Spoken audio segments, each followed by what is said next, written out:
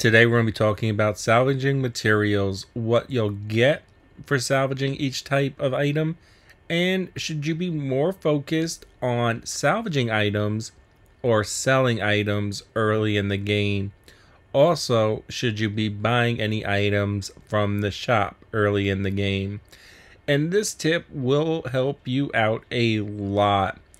Ideally, you want to salvage as much as possible and only sell enough off for those crucial upgrades for your better gear.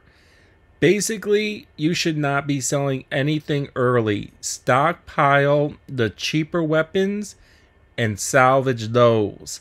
Then later, when the weapons are worth more and you have a stockpile of salvage and you have better gear that you actually truly will benefit from upgrading then you use your money and sell gear off to upgrade those items.